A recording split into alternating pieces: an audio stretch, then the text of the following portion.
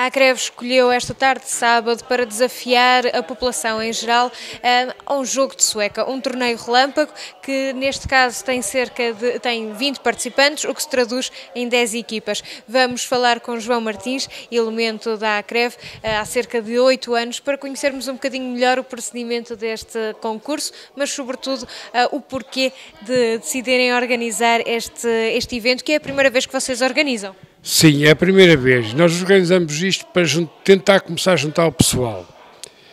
Eh, que nós temos o, portanto, um grupo de cantares, temos um grupo de caminhadas e temos, opa, pronto, temos os amigos que gostamos de juntar e jogar uma sueca ao fim de semana.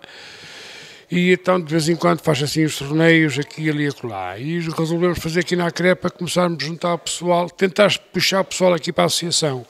É essa a nossa ideia como é que está a correr? Hum, acho que está a correr bem, segundo ali o meu, o meu colega, o Martinho. Ó oh, Martinho, diz aqui alguma coisa. Ele está agora a ver, eh, a fazer o rescaldo da, da primeira mão. Porque somos 10 equipes, já há sempre uma. É, portanto, a passar à fase seguinte terão que ser de 6 equipas. E ele vai repescar uma das 5 que foram eliminadas, a que tiver melhor resultado é a que vai passar à fase seguinte. E, vamos ver, pronto, está a correr bem, o pessoal está a aderir, estão satisfeitos. Agora temos aí umas bifanas, aliás, umas febres para o pessoal eh, lanchar e, e, o essencial, no fundo, é isso, é conviver um bocado e, e darmos um bocadinho uso ao que temos.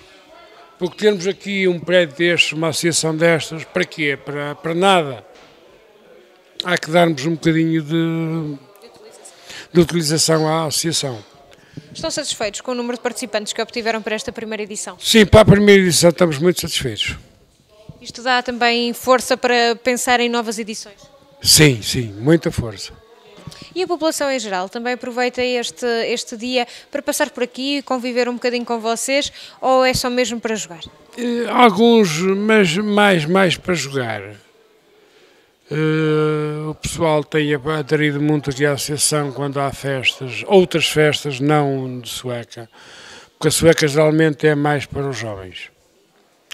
E as mulheres, como a gente sabe, uh, algumas gostam, mas têm. Uh, é difícil uma mulher dar a cara a jogar sueca. E, e é como digo, nós não apesar dos homens, depois a partir dos homens poderá começar a vir a mulheres. Mulheres, porque, é como digo, nós estamos abertos a toda a gente. É uma associação que está aberta a todos, temos eh, vários eventos durante o ano, nível de festas aqui, caminhadas fora daqui e não só, que é o nosso, o nosso maior eh, equilíbrio, é as caminhadas.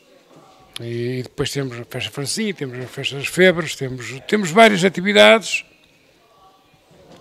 E vamos tentando juntar o pessoal. Vamos ter agora no próximo, na próxima segunda para terça, vamos ter aqui a festa de carnaval.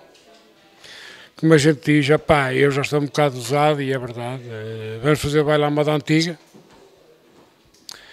Para vocês é um bocadinho complicado, que é um baile à moda antiga. Pá, é, me diz outro, é giradiscos aquelas músicas brasileiras que estamos habituados e tal, músicas de carnaval e passamos aí um bocado de serão. É o nosso lema da associação.